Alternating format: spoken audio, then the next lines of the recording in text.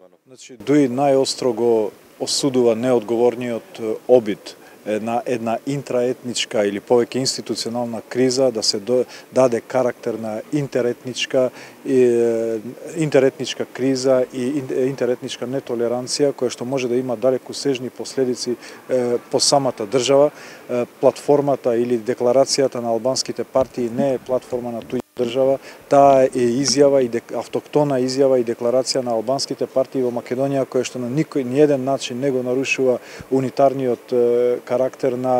државата ниту излегува од рамките на рамковниот договор, туку предвидува унапредување на правата согласно рамковниот договор и затварање на темите кои што се оставени отворени целиот овој период без да навлезе во правата на било која друга етничка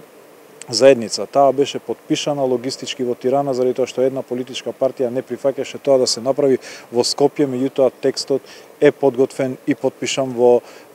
подготвен и спремен во Скопје. Меѓутоа обидот на една